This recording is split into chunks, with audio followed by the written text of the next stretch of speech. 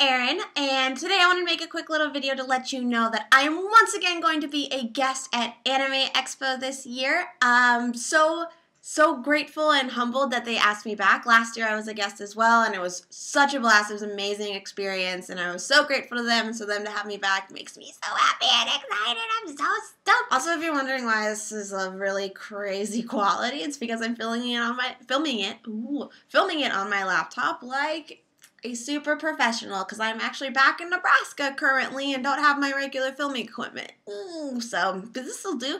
This will do.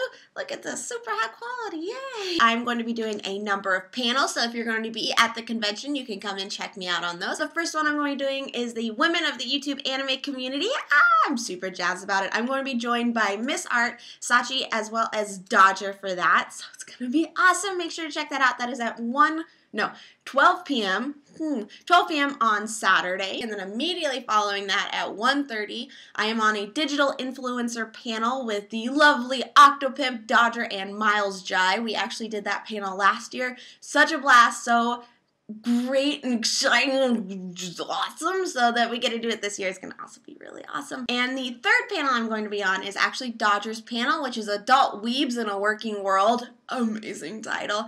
And that is going to be Sunday at 1.30 p.m. I'm going to put the room, like the room numbers and all of that in the description down below, so all of this information will be down there as well. And if you can't make it to any of the panels, I'm going to be doing an autograph session. I don't actually have the information on that, so look out on my Twitter because I'll be tweeting about that. So I think it's going to be on Saturday, but I'm not 100% sure. So watch my Twitter for info on that. Also, if you're wanting to go to Anime Expo this year but have not gotten your pass yet, they have actually given me, the lovely people at Anime Expo have given me two free passes to give out to you guys.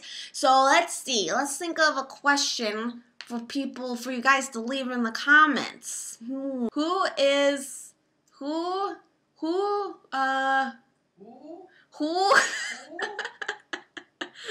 Who ha- okay, I got it. I got it. Who has the best hair in anime?